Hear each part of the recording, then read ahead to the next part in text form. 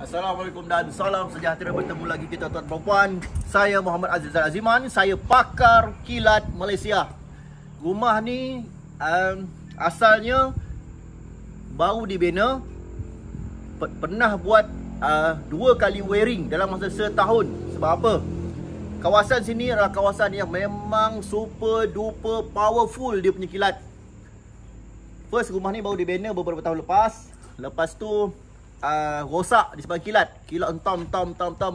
Dengan lampu rosak, bagai elektrik rosak. Wiring tukar balik. Satu rumah wiring balik.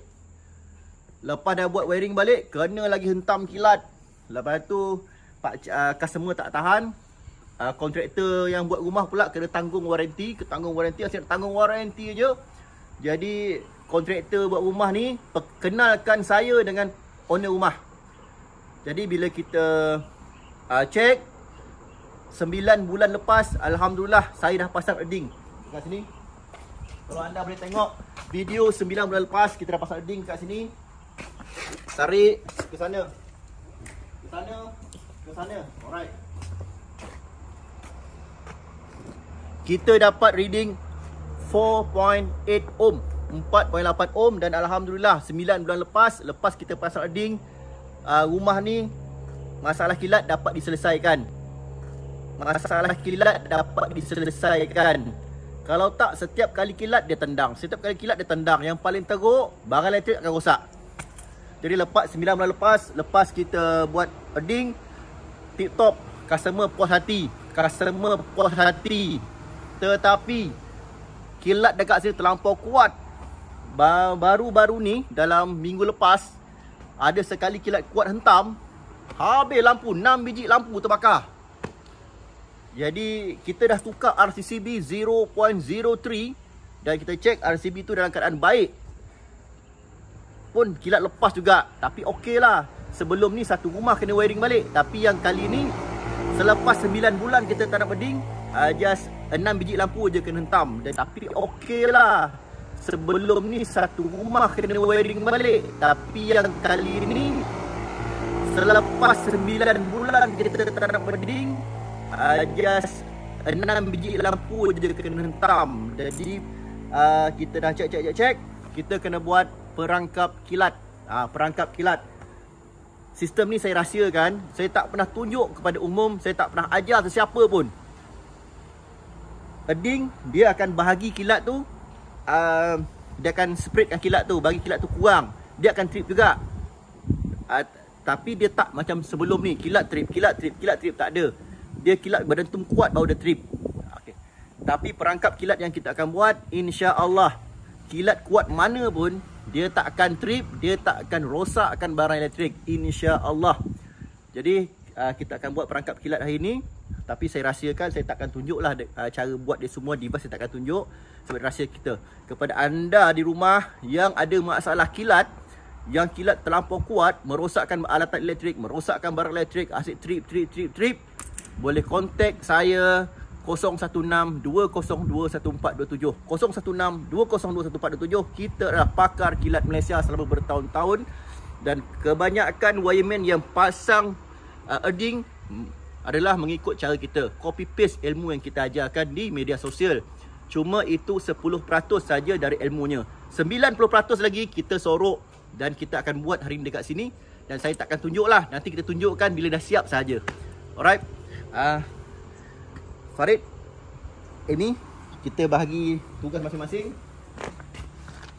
Satu tim buat kerja bahagian luar satu tim buat kerja bahagian dalam. Kita nak tanam perangkap kilat supaya bila kilat tuntam 100% dia akan masuk terus ke perangkap kita. Dia tak akan pecah-pecah lagi ke spread-spread ke ke eding ke ke DB ke dia tak ada lagi dah. Faham eh DB ni bukan kita buat wiring ni bukan kita buat kita buat eding saja dan sekarang ni bila berlaku masalah kilat kilat akan masuk ke sini dekat kita dah tukar ni wireman lain buat kita tukar yang ni 0.03 kita dah check masih baik. Jadi kilat akan tam dekat sini. Sekarang kita akan tukar. Kita akan pasang satu lagi box dekat sini. DB box kita akan pasang dekat sini. Jadi lepas ni insya-Allah bila kilat hentam, kilat akan hentam DB ni dulu. Kilat akan hentam DB ni, dari DB ni kilat tu semua akan diperangkap dan tidak akan masuk ke DB sini. Ha, jadi bila kilat tu dihentam DB yang kita akan buat sekejap lagi, semua kilat akan diperangkap dalam DB ni, dia tak akan masuk ke dalam DB ni, jadi DB ni selamat. Wiring insya-Allah akan selamat. Nanti kita tunjukkan bila dah siap kerja. Alright, terbaik. Alhamdulillah kita dah siap. Sistem ni dinamakan Lightning Strike Trap. Sistem ini dinamakan Lightning Strike Traps. Yang biasa anda lihat di media sosial, ramai sangat wireman-wireman, electrician buat earding untuk kilat. Itu 10% sahaja dari ilmu yang saya ajarkan dan ramai dah ikut. Dan bila kita pasang benda tu okey, tapi ada juga jenis kilat yang terlalu kuat yang bila kita pasang uh, earding below 5 ohm pun tetap dia hentam juga barang elektrik. Jadi kita akan pasang lightning strike traps. Tapi saya tak boleh buka yang dalam ni sebab rahsia device dia. Kita tampal dulu. Zoom. InsyaAllah stiker dengan tanggungjawab. InsyaAllah bangga eh customer bayar mahal eh. Bukan semua bukan semua customer mampu bayar mahal eh. Sanggup bayar mahal Harga tak mahal. Sebelum ni sistem dia dia hentam dekat sini. Kilat akan hentam dekat sini. Dari luar dia hentam dekat sini. Dari sini dia masuk ke dalam sistem wiring, habis wiring rosak. Walaupun RCB ni trip. Okey, zoom. Walaupun RCB ni 0.03, walaupun dia trip beberapa milisecond sebelum dia trip, kilat hentam dulu equipment. Kilat hentam equipment baru dia tendang. Ha, jadi kita tak nak lagi kilat masuk dekat sini. Jadi kita dah pasang lightning strike trap perangkap uh, sambaran kilat, perangkap sambaran kilat. Jadi lepas ni kilat dari luar dia akan masuk ke sini dulu. Dia masuk ke sini dulu. Dia perangkap semua kilat. Dia buang ke tanah. Uh, InsyaAllah kilat tak masuk ke main DB. Jadi uh, insyaAllah barang elektrik, wire akan selamat. Kita tak boleh bagi tahulah apa dalam ni. Ah uh, tu device rahsia. Itu rahsia kita eh. Ada benda yang kita rahsiakan, ada benda yang kita ajar. Banyak yang saya ajar, banyak yang saya ajar, tapi ada benda yang kita rahsiakan. Nampak kenapa kabel hitam? Kenapa kabel dia hitam?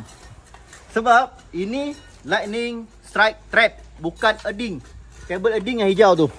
Laju sikit, hidup yang lama. Hijau ni earding. Ini lightning strike trap, perangkap sambaran kilat. Jadi dari sini kilat tu akan turun. Kilat tu akan hentam uh, road ni dia akan semua insya-Allah akan serap ke dalam tanah. Okey tuan-tuan dan puan. Sekarang ni dah hujan, mungkin kita akan sambung esoklah kerja ni. Mungkin kita akan sambung esok. Oh, Sebab dah hujan, ada besi potong sikit eh. Okey tuan-tuan tak perlu nak tunjuk sampai habis sebab kita tunjuk function dia saja. Kalau anda berminat dengan servis kita, pakar kilat Malaysia sejak berbelas tahun yang lepas. Kalau anda ada masalah kilat di rumah, kontak kita 016-202-1427. Alright, sini kau kilat bahaya. Kita tak boleh teruskan kerja sebab sini kau kilat. Risiko pada kita. Jadi kemas semua, sapu-sapu sikit, besok kita sambung. Turut dia. Walaupun sekarang tengah hujan lebat dan sini kawasan kilat bahaya, kami cuba tanam satu dulu untuk bagi ketahanan temporary.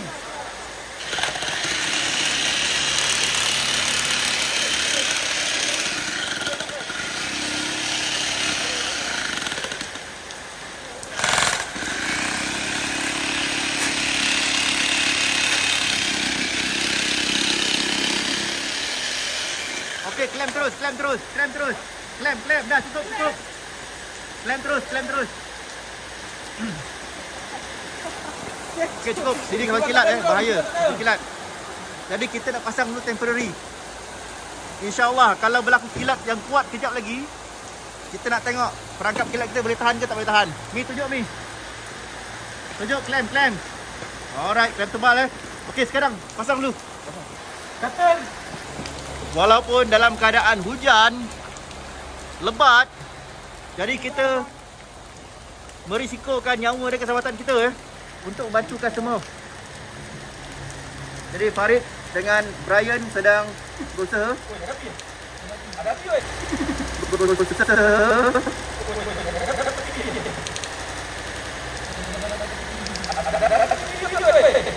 Kena off dulu, kena off dulu. Ha? Kena off dulu. Amy off ni. Ha? Cepat boy, cepat. Dah off. Hai, Amy dah Amy dah off dah. Bayar lu, bayar. Okey, bangun dulu, bangun dulu. Cek balik test pen, ambil test pen. Yang tadi tu kilat. Kilat Oh. kita dah pasang, kilat tu dah masuk dekat sini, faham tak? Masa kau pegang tadi, power tu dah off. Power dah off sebenarnya. Cek. Cek tangan. Ha, tangan bang. Ada tak? Tak ada. Tak ada kan? Hmm. Tadi sparking kan? Hmm. Itu kilat. InsyaAllah itu kilat. Faham tak? Tadi ada kilat hitam.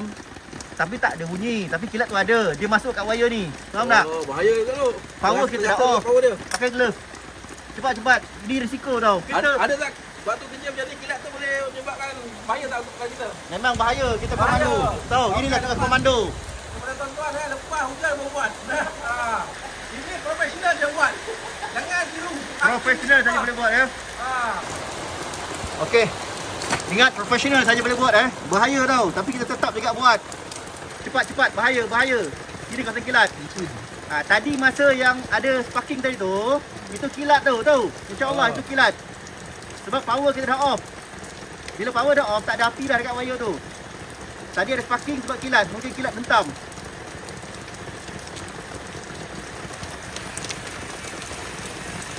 Dah. Dah. Buat okey dah cukup tinggal. Okey, tinggal. Patah-patah lah tu. Tak apa, tak apa, dah, bahaya sini. Bangun, bangun. Biarkan je. Tak apa, bahaya, biarkan je. Alright, insyaAllah. Kita tengok hasil dia nanti. Dengar eh. Dengar tu. Gema dia. Tak tahu lah video dia dapat tak dapat. Gema dia. Padu break eh tadi kita eh. Padu eh. Berentung kuat eh tadi eh. Ha, tapi tak, saya tak sempat nak rekod video tadi. Kalau tak boleh dengar tadi dalam video. Memang padu. Tapi Alhamdulillah tak trip eh. Trip ke Min? Tak ada trip kan? Apa pusing kan? Okey Alhamdulillah. Oh padu tadi break eh. Alhamdulillah. Mudah-mudahan menjadilah kita punya lightning strike strike ni. Ya, perangkap sambaran kilat nama dia.